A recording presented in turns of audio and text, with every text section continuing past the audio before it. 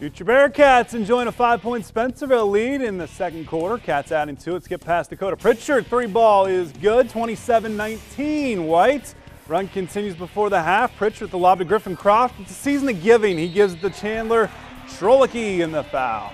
Spencerville firing on all cylinders. Pritchard spin kick out to Mason Nurse. He had 16 in the first half. It's 32-19 Bearcats. Paulding battling to stay in it. Alex Arellano to Preston Johans. Nice play, but in the final seconds of the half, Schrolicki, the putback to beat the buzzer. 34-21 Bearcats at the half. Third quarter now. Pick up where they left off. Bailey Croft on the offensive glass. Spencerville winner 77-62.